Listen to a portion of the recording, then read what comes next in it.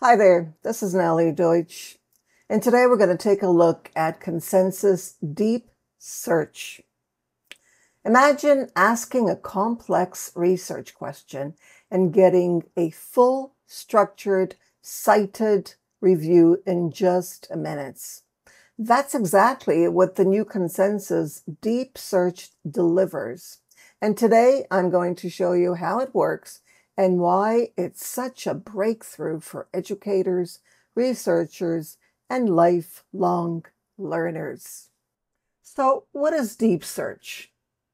Deep Search is a powerful research agent that scans across more than 200 million academic papers.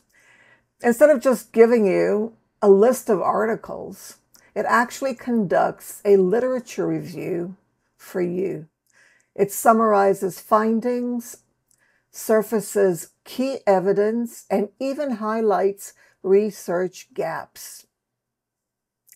So, how does it work? Well, here's how it works Deep Search takes your research question, breaks it down into over 20 targeted sub questions, and reviews a thousand plus papers from there, it organizes the findings into a structured, cited report with clear visuals, authors, and sources, all in just a few minutes. Now, why does it matter? Well, it matters because this isn't just about saving time. Deep search accelerates your path from question to understanding. Whether you're preparing a class, writing a paper, or exploring new ideas, it helps find the evidence that matters most while revealing authors and research trends you might otherwise miss. So, from an educator's focus, let's try an example together get an account on Consensus, and sign in. This is my question or query impact of immersive technologies on student learning outcomes. And the reason is that I teach immersive technologies to MSc students at a distance, and I would like to know the impact of learning. Notice I'll go into the filters past two years is what I usually have. You can keep this or you can change it for each query. Citations, in this case, five. Want to ask the papers. So I'm going to ask for open access and then I can ask paper. Only papers with open access and PDF can work. And I think that's it. Methodology, I'll leave that, but you can take a look at these other filters. So I've got five filters right now and I'm in deep search, going to hit the uh, blue here and the arrow pointing right and wait for the magic to happen. And it's happening. Now you don't have to wait around. You can go about your way and get notified by email when it's done.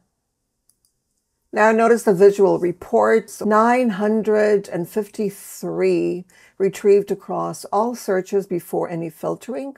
412, notice here, left after removing duplicates and those with missing abstracts, and then 314 counter papers that have high semantic relevance to the original query, and 50 count of the final most relevant and highest quality papers included in the analysis, which is a lot. And notice here what else you get initial survey and search strategy, one search, four filters. And uh, notice foundational theories, rephrase of, for terminology, and you get a report on that. Zoom in on context. All of these reports are visually available for you. So let's turn that off and take a look at the center.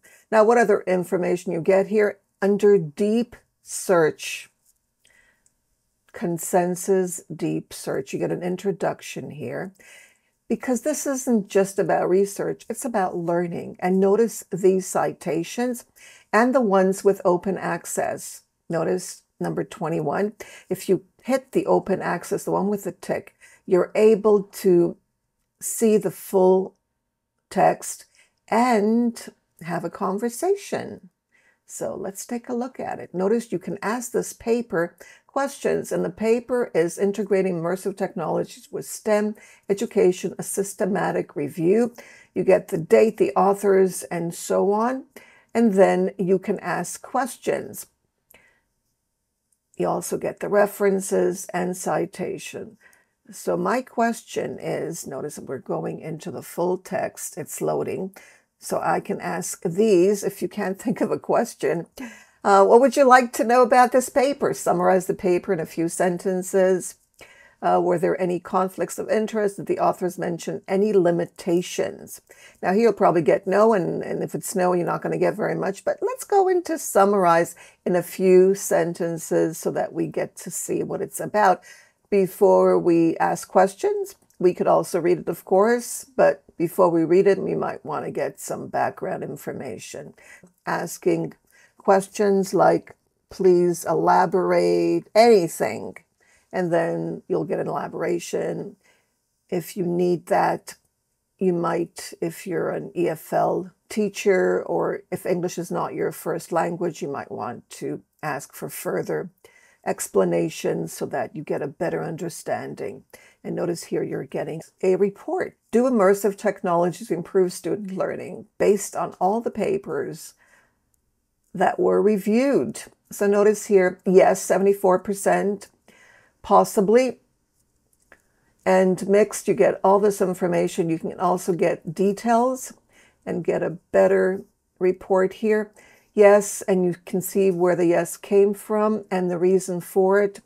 Notice 34 papers, high quality. Okay, so you're getting all this information. Possibly you're getting five papers on possibly mixed and so on, which is super important. And no, because you want to know about that as well. We also get uh, main effects on learning outcomes, the results. You're getting information on that, some more open access papers with PDF where you can ask questions, limitations. So this has been summarized for you by deep search on consensus. And notice all this very, very important information that you're receiving. You can also ask follow up questions, more limitations. Okay, I might want to add that. And then again, you'll get, according to your filters, of course, if you want to change that, you may change that. You'll get more information on that and notice cognitive load and learning efficiency and some of the key limitations, technical and pedagogical, as well as accessibility challenges. And there are a lot. And of course, research and implementation gaps. Okay, there's an open access and conclusion. So notice again, you are getting a lot of information, and I can go through all of this in hours because you learn so much by conducting deep search. As an educator or researcher, you could take these reports and bring them directly into your lesson planning, academic writing, or grant proposals. The visuals make it easier to explain complex findings, and the citations are ready to use in APA or other styles. If you want to experience faster, smarter, evidence based research, give Consensus Deep Search a try. The link is in the description. Enjoy your free month and see how it transforms your workflow. For free users, you get three deep searches per month during the beta. For pro users, you get 100 deep searches per month during the beta. So why are you waiting? Try Consensus. You'll love it.